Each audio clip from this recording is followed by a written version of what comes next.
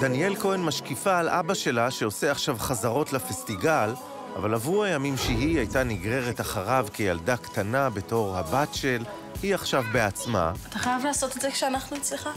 אתה לא יכול להתאפק. חמישה ימים יש לך שאנחנו אצל אמא. למה דווקא הלילה כשאני פה? דניאל בת 14, אבל משדרת בגרות מפתיעה. איציק כהן עם הקילומטראז' שלו כמעט מקנא, קצת מופתע. זה מדהים, במיוחד כאילו לקבל תפקיד באופן מקצועי אחרי שאני רואה אותו שנים על במות ובסרטים ובסדרות טלוויזיה. זה... גם באיזה קלות היא קיבלה את התפקיד.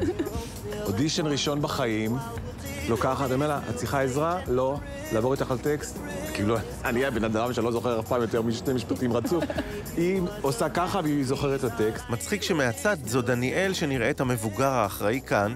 הסדרה של רן שריג היא ממש לא לילדים, אבל בת של שחקנים מתוכנתת לדברים כאלה כנראה.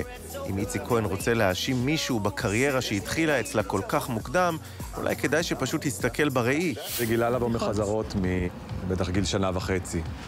וצדי צרפתי אמר לי בזמנו, מה אתה עושה? אמרתי לו, מה? אתה מכניס את החיידק טוב טוב! מה זאת אומרת אני יכול לעשות מה שאני רוצה? אני לא באה לישון פה יותר. כמו בסדרה, גם ההורים של דניאל גרושים, רק בלי המרירות החמוצה של רן שריג. גירושים אצלנו היו מאוד אה, ידידותיים. אה, הצליח לנו. כן, לגמרי. אבל אה, הכרתי את זה הרבה מחברות. זו תופעה מאוד נפוצה היום. כמה חברים וחברות שלך? אני חושבת ש... ש... שיותר מ-50% מהשכבה שלי עם הורים גרושים. הדמות של רומי מתמודדת על המסך באכזריות כמעט, גם עם שאלות של מראה חיצוני ודימוי עצמי. לא כל שחקן, אפילו מבוגר, היה מעז. אני שמנה!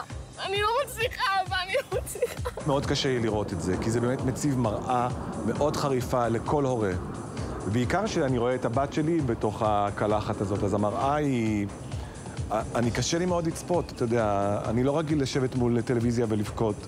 אני מוצא את עצמי, אתה יודע, עם עיניים בוערות, כי זה קשה לי לראות אותה כל כך אה, עוברת דברים לא פשוטים. שאני אני אישית לא, לא העברתי אותה.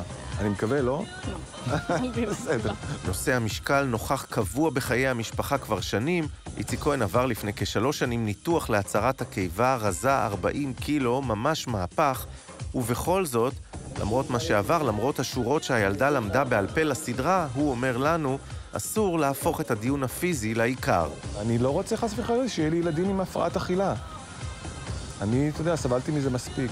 גנטיקה שהובילה אותה למשחק מבצרי. הובילה אותה גם לעוד כל מיני דברים. אני, יש לי עניינים עם משקל עדיין, אגב. זה לא שאני אומר, וואו, איזה כיף, מגניב. בואו נעשה קמפיין לספידו. הוא היה הרבה יותר מאושר אחר כך. וזה מה שחשוב לי באמת. כל כך שומר, לא, אה, לא להעיר לי. את אישית מרוצה מאיך שאת נראית? לא. ואני לא חושבת שיש ילד שמרוצה מאיך שהוא נראה.